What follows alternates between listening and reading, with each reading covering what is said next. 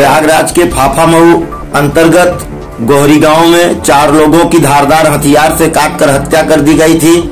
उसी केस में एसओजी व सर्विलांस की संयुक्त टीम द्वारा विभिन्न धाराओं एवं पाक्सो एक्ट या सीएसटी एक्ट से संबंधित अभियुक्त पवन कुमार सरोज को गिरफ़्तार करने के संबंध में एडीजे जोन प्रयागराज द्वारा दी गई बाइट।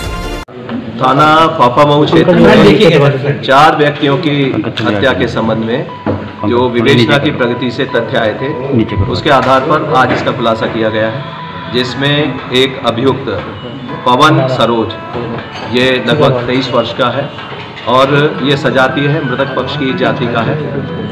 इनके द्वारा लगातार लड़की को परेशान किया जा रहा था। मोबाइल पर मैसेज भेज, मैसेज दिए जा रहे थे। और लड़की द्वारा उसको अस्वीकार किया जा रहा था। बार बार उसको मना किया जा रहा था। अंतिम मैसेज के आधार पर और सर्कमस्टेंशियल एविडेंस के आधार पर पवन सरोज की गिरफ्तारी की गई है। और इनके द्वारा अभी विवेचना में सहयोग नहीं किया जा रहा है। लेकिन अभी तक ये बात सिद्ध हो गई है कि इनके द्वारा कुछ लोगों के सहयोग से हत्या की गई थी। नाम के बारे में इनके द्वारा कुछ नाम बताए गए हैं।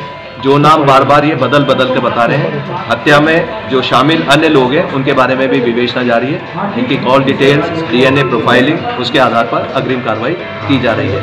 जो अभी तक की नामजदगियाँ हुई थी उन नामजदगी में उनका आपस में एक छोटा विवाद केवल मृतक पक्ष के भाई से था। उसे लेकर अभी तक कोई एविडेंस ऐसा सामने नहीं आया है कि उनके द्वारा हत्या की गई है। इस पर अभी भी जो इन्वेस्टिगेशन चलेगी सभी कॉल रिकॉर्ड्स डीएनए के जो रिजल्ट्स आएँगे उनके आधार पर आगे कार्रवाई की जाएगी। अच्छा पुलिस को कैसे शक हुआ सर? क्या आधार रहा पुलिस का? पुलिस के द्वारा जब मृतका का मोबाइल देखा गया तो उसमें कुछ मैसेज मिले थे और उसके साथ ही जब उन मैसेज के आधार पर पवन सरोज को पकड़ा गया तो पहले वो मना करता रहा कि मैंने कोई लड़की को मैसेज नहीं दिया, ना मैं लड़की को जानता हूँ। लेकिन जब उसको मैसेज दिखाए गए, उसका मोबाइल बरामद किया गया तो स्वयं के मोबाइल से उसमें मैसेज मिल गए। उसने गौरी मैम नाम से बच्ची का नंबर सेव किया हुआ था। और जो मृतका की आयु है, उसके प्रमाण हमें मृतका के मोबाइल से मिले हैं, जिसमें जून 96 उसकी डेट ऑफ़ बर्थ है जिससे जो पोक्सो की धाराएँ हैं वो भी इसमें कम की जा अच्छा रही प्रेम हैं। प्रकाश जी क्या इस बच्ची के साथ युवती के साथ सामूहिक बलात्कार भी हुआ है? कुछ एविडेंस मिले हैं? खून ब्लड वो बलात्कार करने वाले जो पकड़ा गया है व्यक्ति उसके इसमें बलात्कार की पुष्टि हो चुकी है। इसमें जो निशान मिले हैं उसके पी जो निशान मिले हैं उसके पीबी हेयर्स पे निशान पाए गए हैं। और जो अभी तक परीक्षण रिपोर्ट आई हैं, उसमें ये सिद्ध हुआ है कि वहाँ बलात्कार हुआ है। लेकिन कितने लोगों द्वारा किया गया है, इसके बारे में मेडिकल ओपिनियन ली गई, जो अभी जो पोस्टमार्टम पैनल था, उससे बातचीत की गई थी।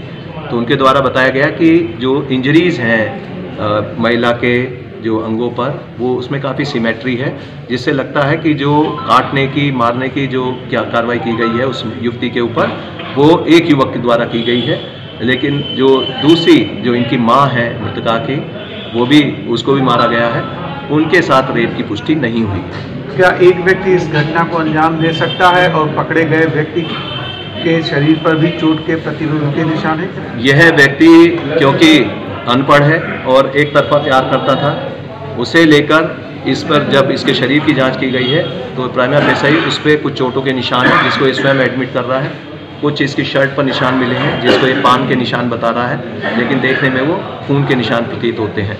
इनके कपड़े इनके जितने भी वहाँ अन्य एविडेंस हैं उनको कलेक्ट कर हम एफएसएल भेज रहे हैं और डीएनए प्रोफाइलिंग के बाद ये मामला एकदम क्लियर हो जाएगा। ठीक। Thank you